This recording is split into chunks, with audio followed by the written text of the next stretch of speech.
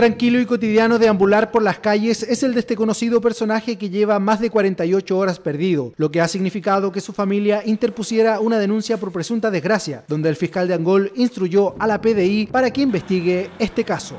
Está bajo una denuncia por presunta desgracia.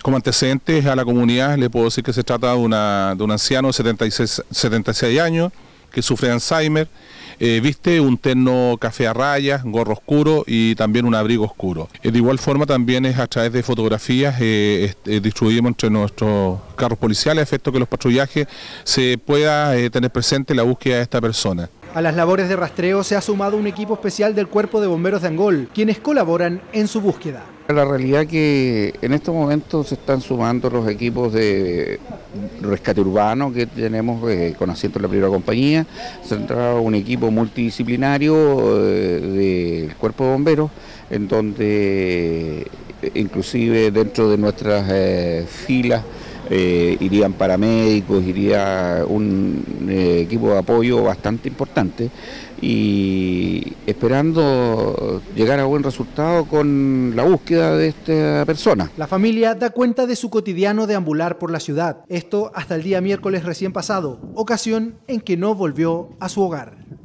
Él desapareció el día miércoles, el día feriado festivo. Eh, bueno, salía todos los días de acá del domicilio, caminaba, deambulaba por, por las arterias del pueblo, pero siempre regresaba nunca más allá de las seis de la tarde. Y este día eh, fue la excepción porque no apareció yo, mi hermana me comunicó tipín ocho y media de la noche. Sus más cercanos tienen la esperanza de encontrar a don Luis Lizama Álvarez con vida, al punto que ni siquiera piensan en una posible desgracia. Mientras tanto, las labores de búsqueda se continúan realizando en los sectores urbanos y rurales de la capital de la provincia de Mayeco.